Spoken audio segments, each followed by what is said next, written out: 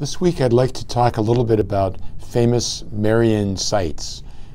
As Catholics, we honor the Blessed Virgin Mary. We see her as the first disciple of the Lord Jesus, the first believer, the mother, obviously, of Jesus, uh, the one who brings God into the world in human form. And the Catholic Church has always had a tender devotion to her because we see her as the God bearer, as the one who teaches us faith and brings Jesus to us. Mary has appeared uh, throughout the ages, often to um, poor children, often to the lowly, to reveal God's messages of, of love and mercy and the call of gospel conversion.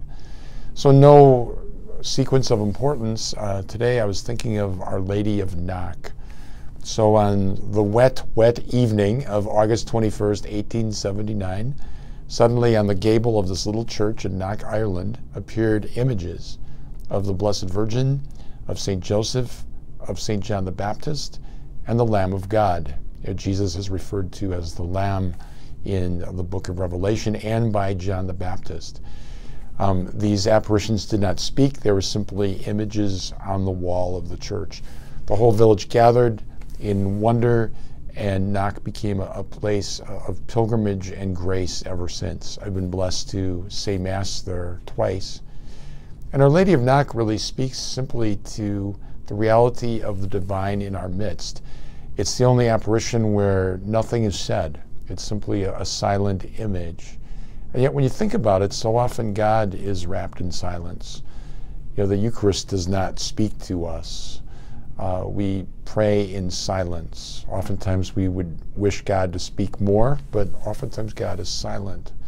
And maybe the silence is God's answer to our prayer, that He wants to draw us into the silence and peace. So, Our Lady of Knock is a beautiful place on the west coast of Ireland that has become a pilgrimage site for uh, millions of Catholics uh, throughout the world, and certainly is a spiritual center of Ireland. So, what we see in Knock, um, the Blessed Virgin Mary's tender love for the Irish people, who really until recently, um, Ireland was a very strong, devout Catholic country. We, we pray for Ireland that uh, as they go through um, their purification of the faith, that they uh, may come back to the church and continue to believe in the gospel, although there's still millions of, of faithful Irish Catholics as there are here. So, Our Lady of Knock, pray for us.